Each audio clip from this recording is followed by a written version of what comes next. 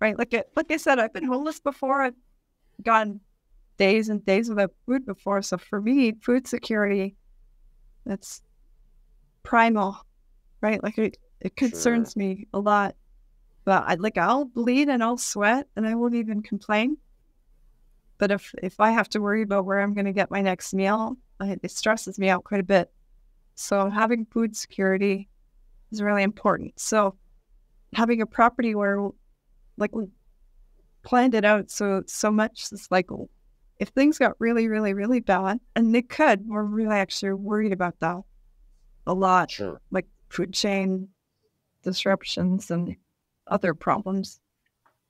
And we decided if we had to just hunker down on this property and survive on only what what we can only do here, what could we live with?